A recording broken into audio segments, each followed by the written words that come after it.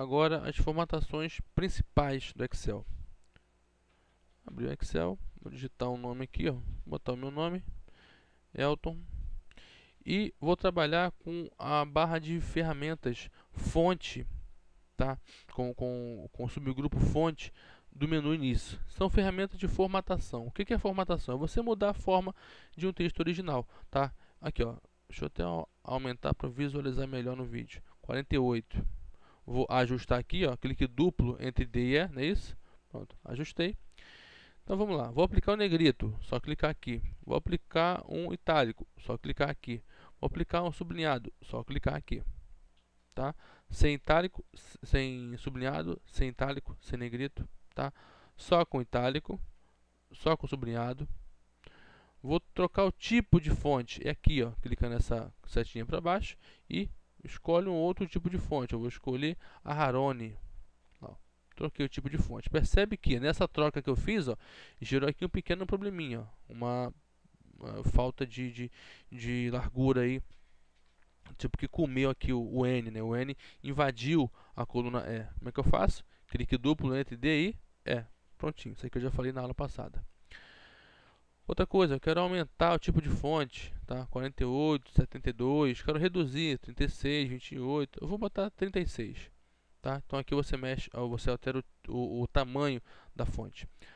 Você poderia aumentar por aqui também, ó, vai dando cliques, ó, ele vai aumentando, aqui você vai reduzindo, tá? Isso aqui é muito simples, isso aqui é bem simples de verdade. Já falei isso aqui, borda, quero pegar essa célula aqui, ó, que é a D6, e clico aqui.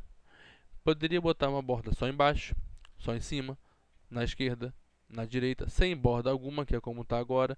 Todas as bordas, tá? Eu vou botar todas as bordas. Olha lá. Ó. Então, fiquei com borda superior, inferior, direita e esquerda. Posso ainda fazer o seguinte. É... A cor da linha, eu vou botar ó, vermelha, tá? Para essa borda aqui, ó. Posso ainda fazer o seguinte, no estilo da linha, eu posso botar ela, poderia botar tra, tracejado, né? Eu vou botar tracejado sim, tá? Para essa célula aqui, ó. Tem que passar o, o, o lápis aqui e riscar, tá bom? Uh, beleza, o que mais que eu posso fazer? Uh, aqui eu troco a cor da fonte, tá? Aqui, ó, seleciono, cor da fonte vermelho, Cor da fonte: azul, verde, laranja, amarelo, verde. Tá? Vou deixar no azul água. Prontinho. Já apliquei borda, já apliquei cor de fonte. Outra coisa, alinhamentos. Alinhamentos eu tenho os alinhamentos no eixo vertical aqui em cima e os alinhamentos no eixo horizontal aqui embaixo. Uh, vou alargar aqui, ó, a largura, eu vou aumentar a largura dessa célula aqui, a célula D6.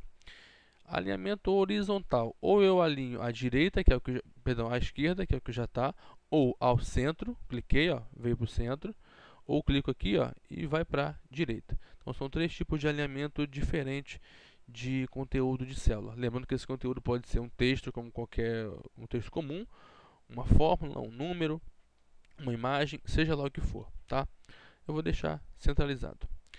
E, e, o alinhamento vertical? Eu vou ter que primeiro aqui, ó, clicar, segurar e arrastar. Eu vou ter que aumentar a largura da linha 6, tá? Então, clico lá em D6 e posso alinhar isso aqui, ó, no eixo, pelo eixo vertical.